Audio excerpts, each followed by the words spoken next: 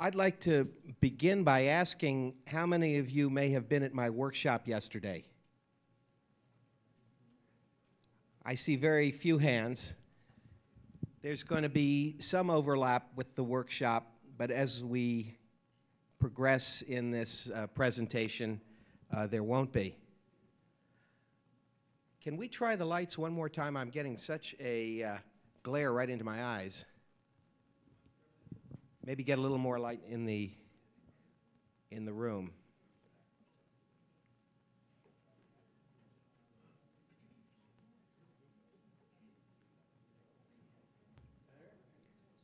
I, th I think that's better. Hello, my name is Paul Davids. I'm a film producer in Hollywood and a writer and director as well as a painter. I grew up near here in Bethesda, Maryland, and also uh, Garrett Park Estates, Kensington, and uh, had the uh, great fortune to have been able to have produced, as executive producer and co-writer, uh, one of the films that greatly influenced the way the public came to think about UFOs during the 1990s. I call this presentation Roswell, the making of the movie and the official reply, with a special emphasis on the official reply because as a sort of sociological phenomenon or experiment, I think one of the very interesting things that came of the movie was not just the public reaction, but the official reaction the news media reaction, the onslaught of, uh, let's say, debunking that uh, came as a result of the production of this uh, film and the impact that it had uh, across the nation. Could I see a show of hands as to how many have seen the movie Roswell or saw it the other night? Good, most of you have, almost all of you have.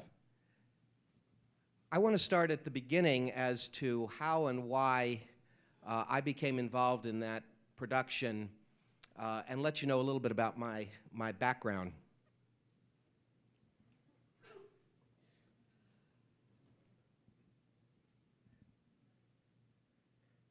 We've skipped one here. The previous uh, slide should have shown JFK's book, Profiles in Courage. I'm the son of a famous historian, Dr. Jules Davids who for 40 years taught at Georgetown University's School of Foreign Service, who helped found the School of Foreign Service, and uh, who in the course of his career taught many students who went on to have great influence in American government and American policy. Early on, uh, in the mid-50s, my father, who's shown at the right, typing on his manual typewriter, taught Jackie Kennedy in one of his classes at Georgetown. The photo at the right shows my dad's high school graduation picture. At the left, you see him from behind uh, with uh, Jackie Kennedy in his classroom. And through that association, through Jackie telling Jack about my dad's lectures in political courage, he came to be invited by John F. Kennedy to work on the writing of the book that became Profiles in Courage. This was the first letter that uh, John Kennedy, as a senator, sent to my dad January 15, 1955. I want to give you some of this background of my father's connections with two presidents, in part to help you understand my own motivation, my interest in American history and getting it right. Because as we summarize what you've heard at this conference in the last two days, as we summarize the things that you've been hearing that have probably not been spoken publicly like this in the Washington, D.C. area before, it bears substantially on our own history. and whether a whole portion of that history has been completely blotted out for us in the name of secrecy and national security.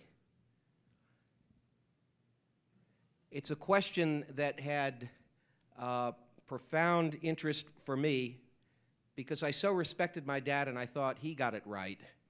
And he certainly never heard anything about uh, extraterrestrial contact, extraterrestrial crash recovery. Uh, his was what you might call an orthodox and a straight and scholarly version of American history. And that was in no way part of it at all.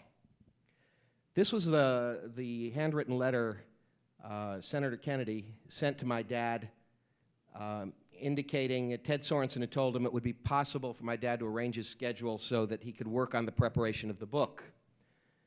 My dad had written a memorandum uh, about uh, several senators who showed great political courage. My dad felt the book should be restricted to examples of courage among senators. Kennedy says, I thought your memorandum was excellent and should prove most beneficial. I'll be in touch with you. Look forward to seeing you in April. I really wanted you to see the documentation because when someone comes before you and tells you that their dad really wrote the lion's share of profiles in courage for uh, the man who was soon to become President Kennedy, that's quite a claim. And uh, I want to show you that there's, uh, there's the paper trail that uh, establishes that. This is the preface to Profiles in Courage, and uh, the third chapter down says Professor Jules Davids of Georgetown assisted materially in the preparation of several chapters. Doesn't say what that, that meant. What it actually meant was that out of nine chapters in the book, my dad wrote the first draft for five of them. Four of them were on various senators. One was uh, an essay on the meaning of political courage.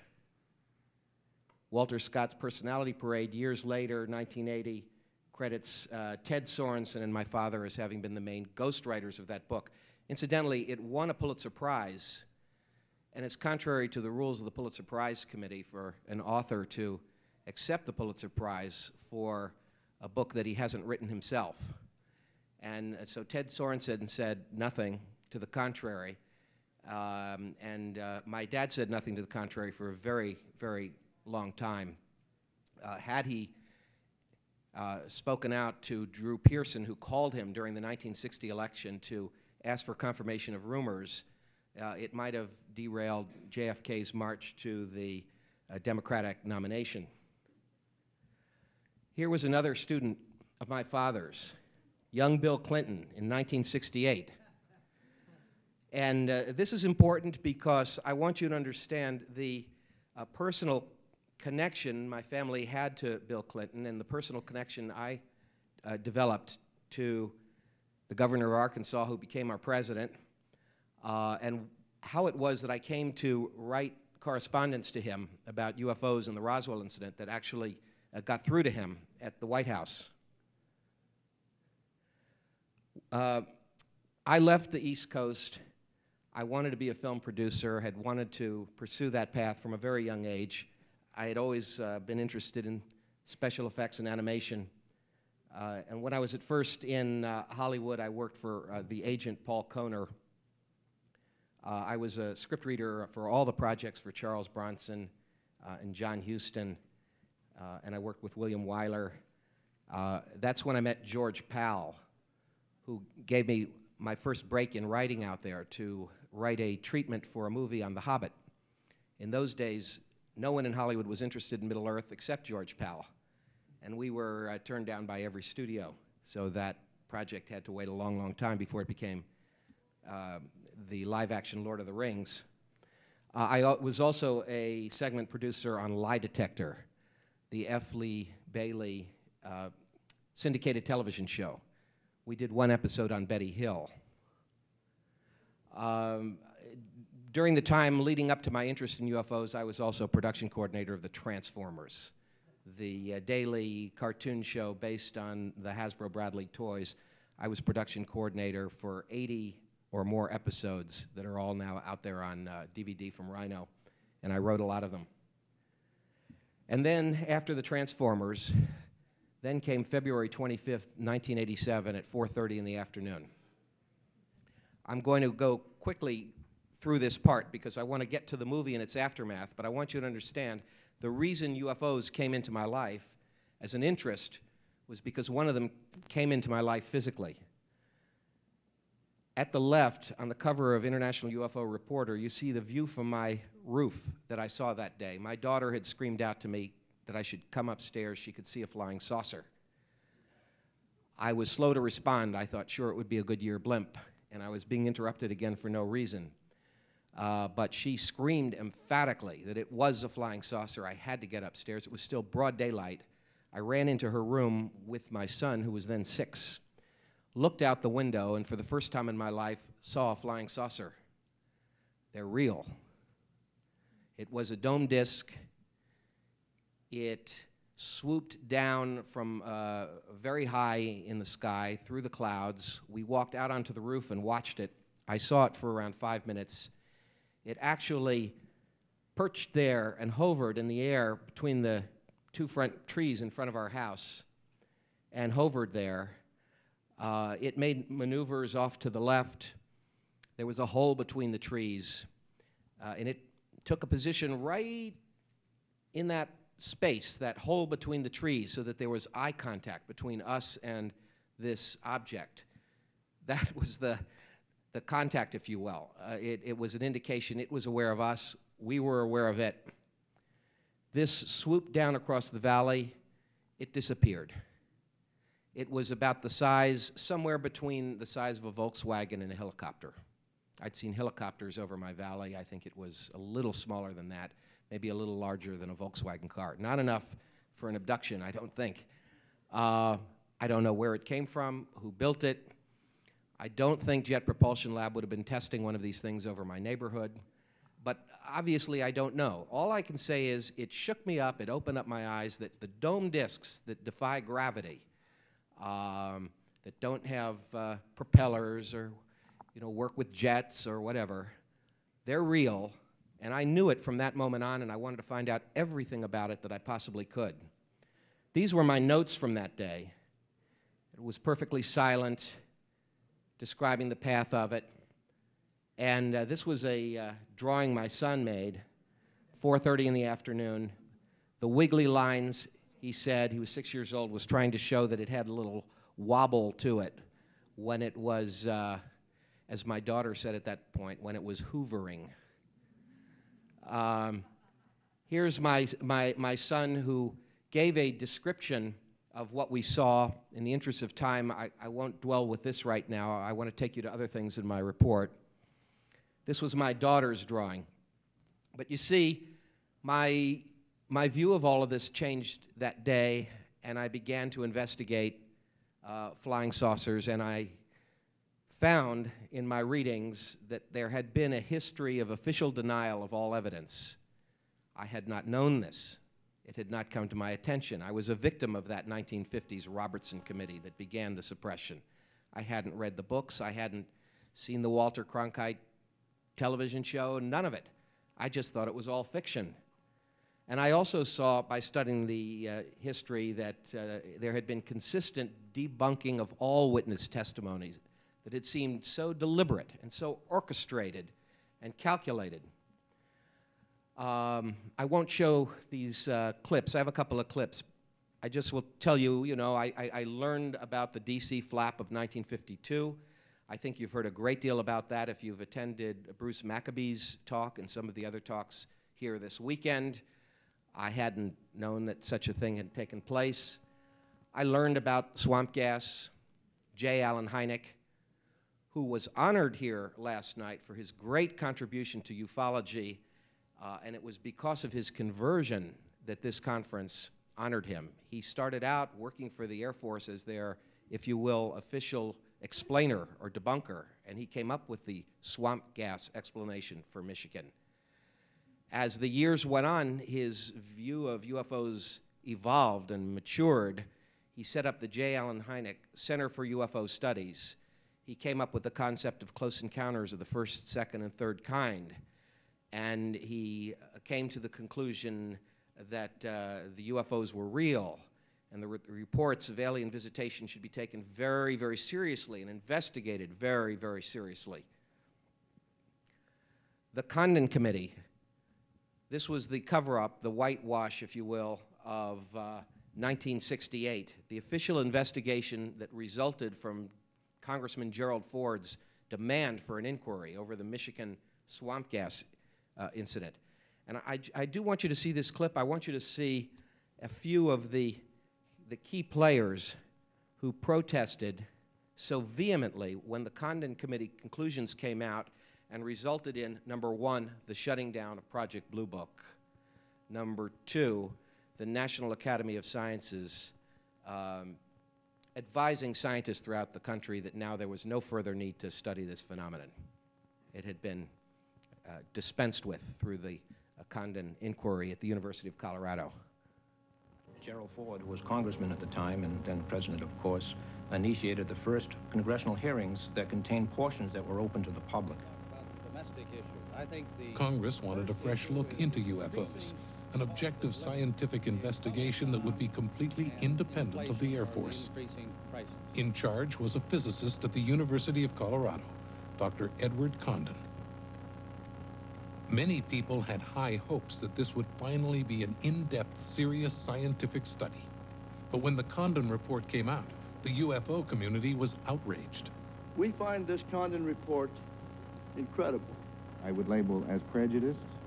Really, it's a lot of nonsense. This report covers only about 3% of the evidence that was made available to them. There is a very large, uh, a very large, overwhelming majority of the significant case material that has not even been confronted.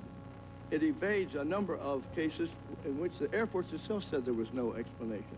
Dr. Condon and his group was given an unprecedented opportunity to clarify the UFO problem that's puzzled so many of us for a long time. He wasted that opportunity.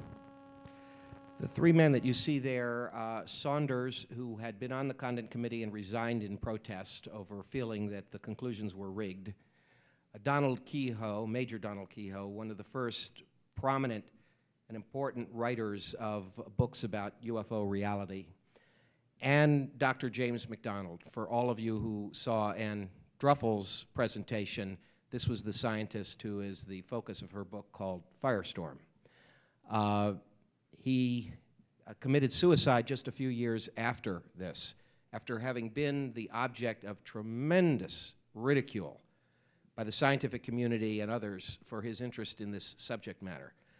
Part of the point of what I want to drive home today, where we're going with this, uh, was that the making of the film Roswell and its broadcasting, in effect, resulted in the unleashing of a massive amount of additional ridicule. You're going to see some of that ridicule, uh, some of it directed uh, at uh, Stanton Friedman, who was honored here last night, um, and um, uh, directed at many, many other people uh, connected with the investigation of the Roswell incident. Uh, and I'd like you to see just how forceful, how bitter, how angry, how deliberate, how desperate that uh, process of ridicule and debunking became.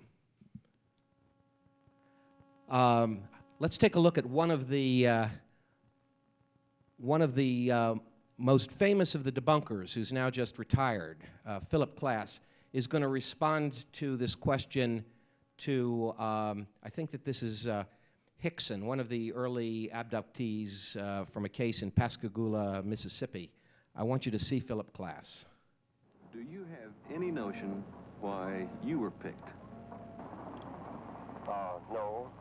No, not really. I guess I've asked myself that question. This is Hickson of Hickson and Parker. Why me? It is, in my mind, a hoax. A hoax that's been perpetrated on the American public.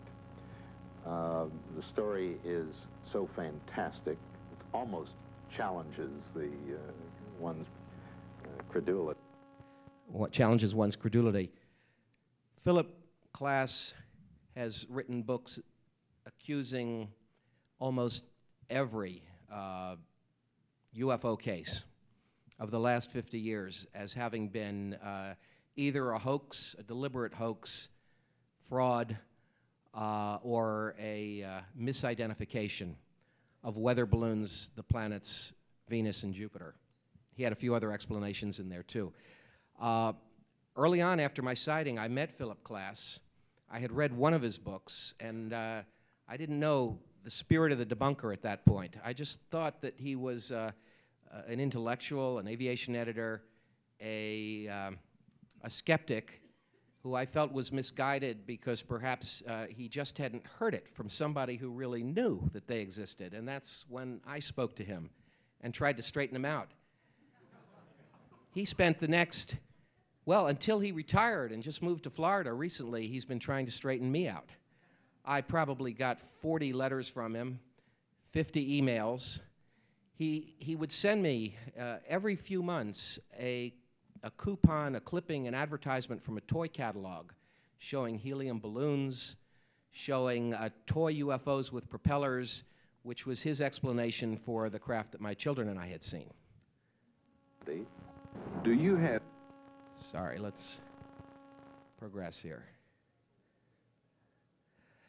And so, my UFO sighting was uh, investigated by Donald Schmitt of the J. Allen Hynek Center for UFO Studies. He's shown at the right. He came out, he wrote a report about it, um, and uh, he introduced me to Captain Kevin Randle. This was back in, uh, he investigated in 87, the year that it happened, and in 1989, when he was in Los Angeles investigating the MJ-12 papers, he told me of the uh, book that he and Kevin Randle planned to write about Roswell. They were conducting their own investigation. At that time, they only had a 17-page outline. And they wanted to know if I was interested in trying to launch the movie. Well, you see from my background, I certainly was. Uh, I was interested in clarifying the history. I felt from what I had seen that there was a, uh, it was very logical to me that something of the nature of what I had seen uh, had crashed in Roswell, New Mexico, had been recovered, and that that was the cause of uh, everything that had followed. So I was interested in um, making a stand uh, for the sake of, uh, of, of, of, history, uh, the influence of my father on me. I was interested in it as a cinematic challenge, uh, and I felt driven to do what I could to educate the public on this subject since my mind was so very made up, uh, that it, it was a real phenomenon, there were real craft, and that the public uh, was being deliberately uh, lied to. And so uh, for $25, I optioned the rights to their 17-page outline. Um, promising, of course, that when I had to deal with the studio, they would be paid very fairly, but I held on to the rights for a couple of years and it was years of rejection from every studio and production company in Hollywood. I still have the rejection letters and all the reasons that they told me um, it never would have ha- it never happened or they would have heard of it. Um, if it if they made such a movie and it was proven false, they'd have egg on their face. Uh, they didn't think anybody would be interested. No one would believe it. I mean, I was up against this wall of resistance for years.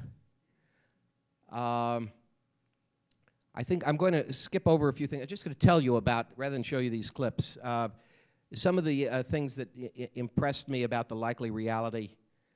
Um, I had come across the writing of, I think his name is Victor Marchetti, a former CIA official who had written a paper giving what he felt were the reasons for uh, the UFO secrecy and concern by the powers that be that the revelation could upset the, natu- the order, the social order, and the power structure of the world. The same sort of things that were written in the Brookings Institute report that was covered in the last talk by Terry Hansen.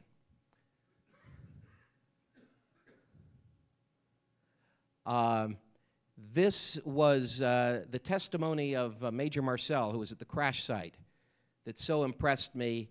The conclusion of the man who was there, who, who, who uh, had uh, said 30 years after the fact that there was a cover up, uh, that he had been asked to withhold the truth, but that it wasn't made on Earth. This is short. I'm going to show it to you if I can manipulate. Here we go.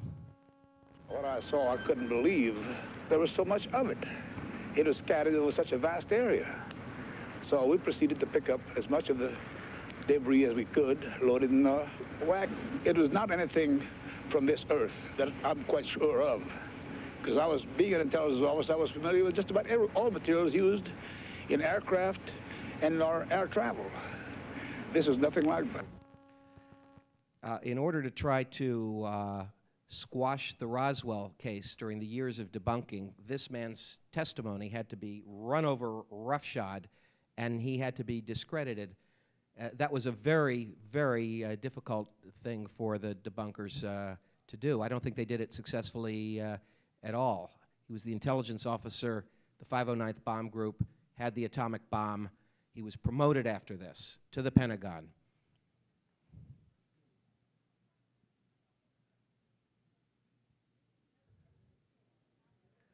Uh, I'm not going to show this clip. I'll tell you about it. Uh, Sappho Henderson, the widow of Captain Pappy Henderson, who uh, had um, told his wife 30 years after the fact that uh, there were alien bodies recovered at Roswell, and he was the pilot that flew them to Wright-Patterson Air Force Base, that the security was so high he hadn't told her for 30 years. Barry Goldwater are we okay for, uh, for time? We've, we're not. Okay. Okay. I, you know, I was just, I was just able to start 20 minutes ago. Can I have 10 more minutes to wrap up? That's right. We're way behind. I really, uh, I really need another 20 minutes to finish the presentation. Thank you very much. All right. The censorship has been lifted. Barry Goldwater thought that the uh, weather balloon story about Roswell was very fishy. He was the Republican candidate for president against Lyndon Johnson, and uh, he had been thwarted in his own efforts to get to the bottom of it. This is part of what he had to say. Former U.S. Senator Barry Goldwater thinks there's something fishy about the whole story. As chairman of the Senate Intelligence Committee and an Air Force general, Goldwater had a top secret security clearance. During a visit to Wright-Patterson Air Base in Ohio, he asked to view the hangar where the Roswell wreckage and other UFO information were reportedly stored. Permission was denied. Goldwater later wrote that he was told the matter was classified above top secret. He was also told to never ask again. Uh, there's a second uh, direct statement by Barry Goldwater that was on the was broadcast by Larry King, in which he basically says the same thing. Uh, the Roswell movie, it, it began to have a chance when I brought in director Jeremy Kagan. We became uh, partners. He had directed The Chosen and The Journey of Natty Gann. He set up a deal at HBO. We were in development for a year and a half. They spent a few hundred thousand dollars in development, and then they dropped the project in order to do another UFO film that year, The Attack of the 50 Foot Woman remake. We had to go out and sell the project again to Showtime, which we did successfully, and we did get to make the movie. Finally, the, books, the book came out, UFO Crash at Roswell by Randle and Schmitt. The one at the left has some scenes from the uh, movie on the cover. The one at the right is a revised version they wrote later. Um, you've all seen the movie. I, I will skip this. Uh, this was the preview that was released at the time. Uh, Congressman Schiff began an investigation of the Roswell incident. He was from a Republican from New Mexico. He wanted uh, to uh, to establish what it was that had crashed, and he asked for cooperation of the Pentagon. He got the runaround, and uh, after several attempts on his part, he asked the Government Accounting Office to investigate. The uh, Air Force then got involved in its own investigation to try to offer an answer since they saw the congressman was insisting on one. Our movie came out, and here are some of the other things that happened. That within uh, a year of our movie being broadcast on Showtime, came the alien autopsy film, which uh, I can tell you I have zero confidence in as having any reality whatsoever. It, it it may be based on, uh, you know, a, a, a real autopsy of aliens that did happen at that time, which none of us have seen yet. But this wasn't the film, and it really tended to cloud the whole Roswell incident for the public. It made it a joke. This was broadcast on Fox, Alien Autopsy, Fact or Fiction. Um, here was the announcement by Tom Brokaw um, that uh, it wasn't a saucer that crashed at Roswell. It was uh, a, uh, an experimental mogul balloon, which I'm quite convinced was a cover story. Uh, and here is what, what Tom Brokaw had to say that night. For those of you who believe in visitors from outer space, well, some discouraging news. When Nightly News continues in a moment, we'll have the space shuttle liftoff and also, was it a cover-up of UFOs? The government says no way. And in the skies over the west coast this morning, an unidentified speeding light and apparently a sonic boom. Many saw it, but there's been no official explanation. Well, maybe they should ask the Pentagon in, oh, about 47 years.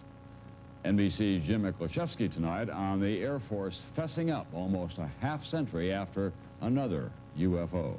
Stories about UFOs and aliens swooping down from outer space have long captured our imagination. They call that especially true lies, the you see. Roswell incident. 47 years ago, something crashed into the desert outside Roswell, New Mexico. And for 47 years, the Pentagon lied about it. Eyewitnesses had reported debris from a flying disc scattered over two-thirds of a mile. Some stories included the bodies of four-foot-tall aliens, crew members killed in the extraterrestrial crash. The Pentagon denied it was a UFO and claimed the debris came from a military weather balloon. But the Air Force now says it wasn't a weather balloon after all, but a top secret balloon to spy on the Soviets. That would appear to explain all the Pentagon secrecy, right? Wrong. Oh my God.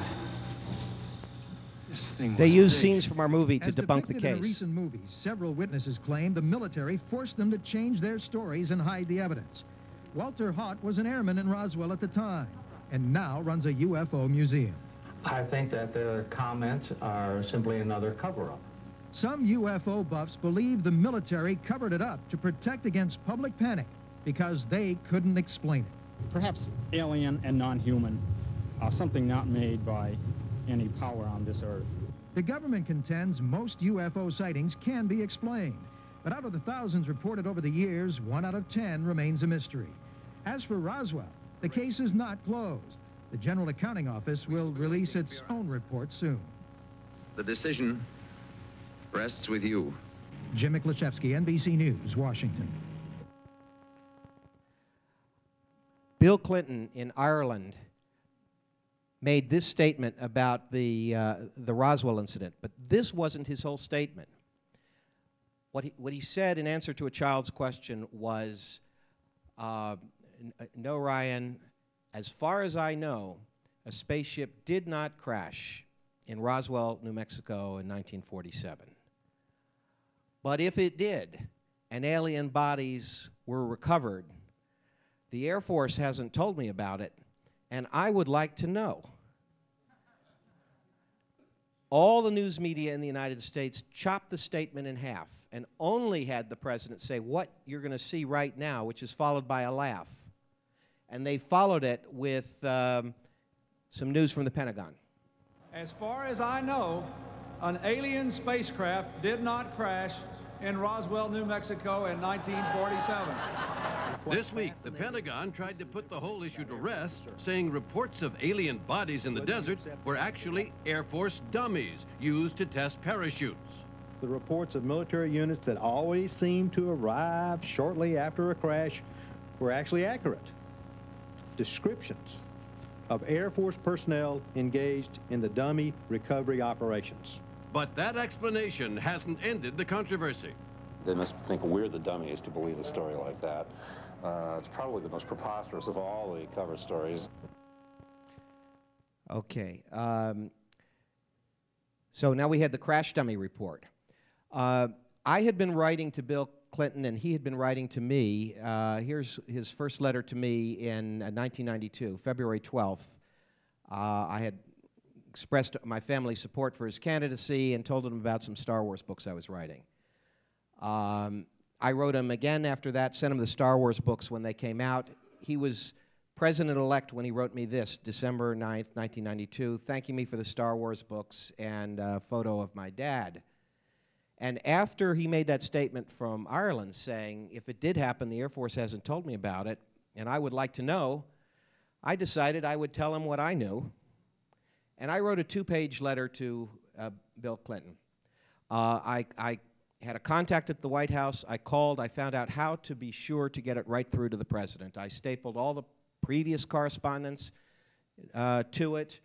Um, and in addition to my letter, I included uh, the movie Roswell and three uh, educational documentaries I had made about the issue, including my reply to the Air Force report on the Roswell incident, which uh, accused um, the report of being a, uh, a further cover up. Um, and I sent him a copy of the book, uh, UFO Crash at Roswell by Randle and Schmitt, and asked him to please consider declassification of this matter, since he had been leaning toward declassification on so many other things, and we, the public, had just gotten to hear some information about troop deployments in World War I in 1917, thanks to Bill Clinton's recent declassification. Um, I also sent him this. This was the uh, New York Daily News. It had the alien from our movie with Bill Clinton and Laurance Rockefeller, who was then sponsoring a study of UFOs, which was later sent to all the members of the Senate and the Congress. About two months later, he sent me, the president sent me this letter back from the White House, marked personal. Thanks for the video cassettes. You were kind to pass them along, and I am grateful for your generosity and thoughtfulness. Hillary joins me in sending best wishes. There's no comments there about the Roswell incident or UFOs, but I was pleased that the president thanked me for sending him these seditious materials. I think that they caught his attention because when he was under impeachment and the FBI went into the Oval Office and looked at the books on his private bookshelf, it was reported uh, that there were three books in particular that hit the news. Uh, it was uh, a book on phone sex, it was a gift from Hillary no, not, not from Hillary. The other one. The mistress. Monica. Um, alongside a book about Churchill, uh, alongside UFO crash at Roswell. I'm, I'm sure that's the one that I sent him. So it got there, and he was reading it. And he was asking Webster Hubbell to find out the truth over at Justice. Uh, we were building up to the 50th anniversary of the Roswell incident which all of us in the UFO field felt could be a great occasion and a prelude to possible declassification and disclosure. Instead, the mood was set on March 26 when the Heaven's Gate fanatics, 39 of them, committed suicide, believing that, uh, at least the news report was, that it had something to do with them thinking their souls would join a flying saucer behind the Hale-Bopp comet. It was a disaster for the disclosure movement. It set us back horribly. The whole press campaign in the United States was, again, ostracizing anybody who believed in flying saucers. Uh, we all had a mental problem. That was kind of the mood in advance of the, uh, the 50th. And uh, you can hear it from his own lips. Earth about to be recycled. Earth is about to be recycled.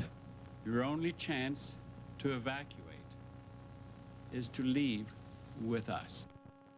I don't know if uh, nobody knows the story behind that, but let me just say it was it was very convenient for discrediting UFOs at a time that uh, uh, that those who dismissed them officially uh, wanted them to be uh, dismissed.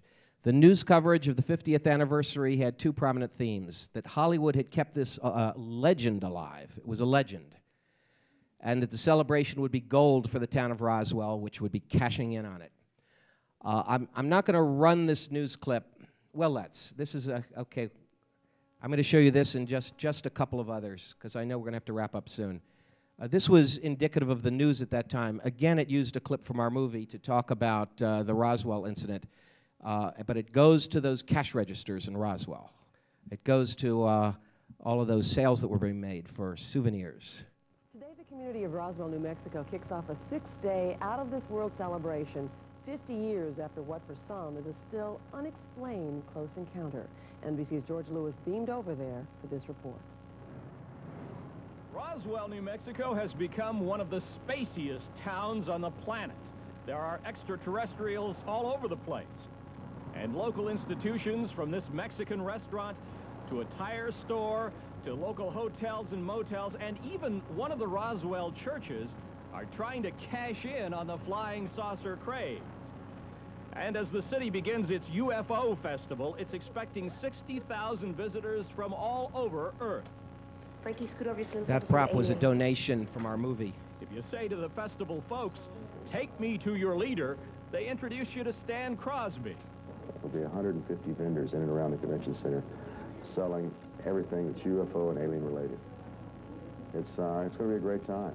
We've had people from Japan, France, Germany, England. All this worldwide attention because of something that supposedly happened half a century ago on land now owned by rancher Hub Corn. According to local legend, this is where the flying saucer ran into the ground. Can you kind of point out where it supposedly crashed? Okay, basically right there where those two American flags are right there. This is not the rancher's. moved. Hollywood has done its bit to keep the legend alive. In the movie Roswell, the crash is recreated. The Air Force finds That dead was and my dying cameo role in the movie. This one inside just the moved. wreckage of the spacecraft, and then hushes the whole thing up. Let's go on. They talk about Independence Day. They talk about all the money being made by the town of uh, Roswell. Um, here's what happened. Uh, this, I, I want to show you a couple of clips. I want to show you the debunking of, uh, of Stanton Friedman. Uh, and I want to show you uh, Captain McAndrew, the man who came up with the crash dummy report, defending himself uh, against an onslaught by Sam Donaldson, who didn't believe his report. Uh, Sam Donaldson was a graduate of the Roswell Military Academy.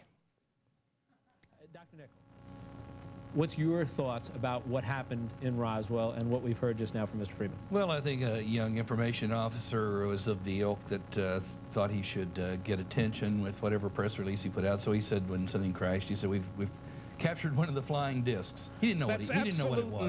Just hold, just hold one, one second for me, Mr. Try to We'll be, get, try to we'll be get to, civil. We'll get you in, I uh, promise. you. Go ahead. it's difficult Dr. Nickell, for go ahead. you. Go ahead, finish up. Uh, and and uh, along comes, uh, years later, comes uh, Stanton Friedman, and, and he's done more to fan the flames of this nonsense uh, and bears the responsibility as much as any other person for this, uh, this constant uh, bad mouthing of the United States government, uh, this, this constant it. running down of the government uh, when there's not any evidence there. I mean, it was in fact a Project Mogul spy balloon. But if you look at the photographs, the photographs are, are exactly consistent with this kind of wreckage. It's foiled paper, sticks, and string. Pretty flimsy flying saucer. Now, Stanton Friedman, who's, uh, who, who gives new meaning to the word positive, you know, Ambrose Bierce said it was being, being uh, wrong at the top of your voice. And uh, Stanton Friedman, in, in this bravado, bruff, uh, rough way that he always does, tells people that he knows this and that. But he was snookered by the MJ-12 documents, a crude paste-up forgery that I that I could prove. In fact, I- in fact, I, I have a background in document examining, and have a new book, uh, Detecting Forgery, which debunks that. I could prove in a court of law they're fakes, and he has constructed an entire conspiracy scenario. All right, we, we, we see they broke in to say the NASA rover explored the surface of Mars. Let's go on. Well, I'm going to skip this clip, but what this one shows is that C.B. Moore, the head of the Project Mogul balloon experiment that the government used as its latest explanation, had a UFO sighting himself. He describes the UFO sighting in great detail, total mystery to him, investigated it, and uh, decided it was, it was an unknown, it was a UFO. And uh, the official response to his conclusion was that he had misidentified something conventional. He didn't know what he was talking about either. My proposition is that he didn't know what he was talking about when he said they recovered his balloon train, and that was uh, the explanation of the Roswell incident. Um, here we go. You will, you will love this. Kent Jeffrey, a, a, uh, Lockheed, I believe it was Lockheed pilot, who sponsored the Roswell Initiative, getting, I don't know, 50,000 signatures or more for people requesting declassification. Suddenly, just before he was ready to mail these to the president to ask for declassification on behalf of these people, suddenly decided that it, it was a Project Mogul after all. Didn't send the, uh, uh, the uh, signatures onto the White House and instead went on Nightline to become a debunker. And here's what he had to say. When we come back, we'll be joined by a true believer and by an avowed skeptic of the Roswell incident. He's now a devout skeptic. But when I've talked to the provost marshal for the 509th Bomb Group, Major Edwin Easley, who retired as a colonel, and he tells me the craft is extraterrestrial, I find that to be very compelling evidence. This man had no reason to lie to me. He had no reason to make this up. He was not seeking the spotlight. He did not come forward with the truth. I searched him based on looking at the documentation of who was at Roswell in the late 1940s and who had been in what positions to try to find people who could either corroborate the story of an alien spacecraft or who would corroborate the idea that something terrestrial crashed here that had been misidentified. I spoke with the men of the 509th Bomb Group, talking to 15 B-29 pilots and two navigators who were there in 1947, and they regard this entire matter as complete nonsense. They were a very close-knit group, the only atomic bomb group in the world, and they are emphatic that if something as dramatic as the crash of an alien spaceship had occurred at their base and the material was uh, recovered and, and flown through their base, they would have known about it. The, the, the answer to that is uh, Brigadier General Thomas J. DuBose was, has told uh, people on videotape that they were ordered by SAC headquarters not to talk about this. And if you get orders from a general telling you not to speak about something, you do not do so. So the fact that he's found people that don't know anything about it is really irrelevant. We've I, got to I, look for the entire group. Ted, I have a sworn statement from three men who spent 17 years collectively at the Foreign Technology Division at Wright-Patterson Air Force Base where this craft has supposedly been kept. These men have put their honor and their reputations on the line historically and signed a statement here saying by their word of honor, no such ship, no such secret hangar may, was there. They have well, gone on record. You may as well put it down because all I can see is a sheet of paper with some print on it. And, and that, that in and of itself, I, I, take your point, but I promised Mr. Randle he'd get the last word. Mr. Randle, you're going to get the last word. This is it. Uh, I have an equal number of high-ranking individuals who are involved in the case who have also gone on the record and put their reputations on the line, and I think my two colonels and Brigadier General trump Kent Jeffries' three colonels. No, I have a four-star general who was the base operations officer in 1947. Gentlemen, and I, he states unequivocally, no crash flying saucer. I got a full house. We're out of time. We don't have time to hear uh, all of this next interaction. Uh, but I want you to hear it, uh, 60 seconds of it uh, before we, we wrap up. This is the man who wrote the crash dummy report, as well as the mogul. He was a captain in the Air Force uh, when he undertook that assignment.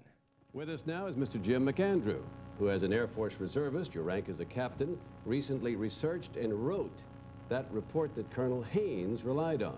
Welcome. Nice to see you. Thank you. Mr. McAndrew, you, you say it was a weather balloon, but the first Air Force officer on the scene, who clearly must have had some experience with things like weather balloons, said, hey, this is a UFO, this is a flying disc. Well, the other Air Force officer on the scene who's still alive said it wasn't. Oh, we had a difference of opinion right there. Tell us what your theory is. What was it?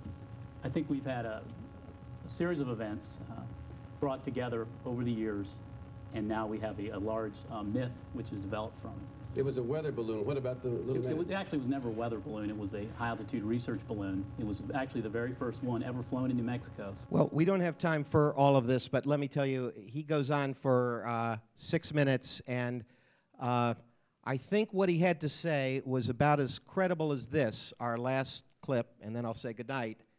Uh, this is the famous Nothing to Hide at All clip from the mid-1950s. Air Force had no conventional explanations, and no matter what they said, people didn't believe them. The Air Force has been accused from time to time of hiding information about UFO. What do you have to say to that, Colonel Patton? Well, these charges are absolutely untrue. Actually, the United States Air Force releases statistics on the UFO phenomena through the Department of Defense press desk periodically. And we've always honored accredited media when they want to investigate a given specific sighting. There's nothing to hide. There's nothing to hide at all. Nothing to hide at all. And my uh, closing words to you and my summation for uh, this conference is that uh, as the uh, as the son of a historian who wrote about profiles in American courage, courage that comes along uh, once in a rare while in the Senate, I'm asking for a little courage. Is there someone here in Washington, D.C., who can stand up and begin to talk the truth about this incident? And in the meantime, while I'm waiting, I'll be back in Los Angeles. Thanks.